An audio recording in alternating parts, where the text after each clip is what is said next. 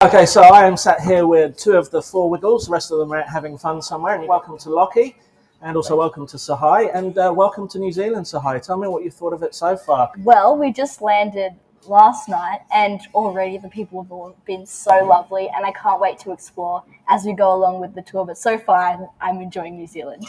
Finger, mommy, finger, where are you?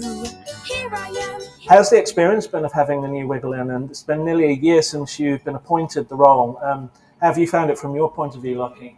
Oh, Tsehay has been absolutely wonderful. It's it's quite.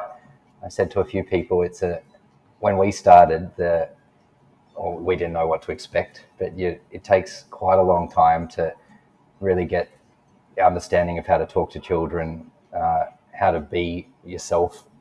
Is one of the hardest things to do on stage to actually let your barriers down and be yourself. Children are very intense critics as well. There's no there's no fooling a child, right? There isn't. They will turn away if they don't like the song, or, or they'll go back and get a snack from mum or dad. But no, Tsehay's just found that really naturally, really quickly, which we all think is really quite impressive. Yellow Wiggle and the first kind of uh, the time doing it. What was going through your mind? Um, I think my first performance as Yellow Wiggle was one of the carols in the Domain concert for Christmas, and that was surreal because I grew up watching that as a tradition every year, and the Wiggles were always a huge part of my life. So, uh, and to wear yellow as well, which is my favorite color, was absolutely surreal. And I just thinking like this is a dream come true. There was a little bit of a backlash when you were announced, obviously, because Emma Wiggle's has always been a lot of people's favourite. I think when it was going to be announced, I only found out I was going to be Yellow Wiggle the day before it was announced. So it was a very like it was a blur, which is for me good because I didn't have to think about anything.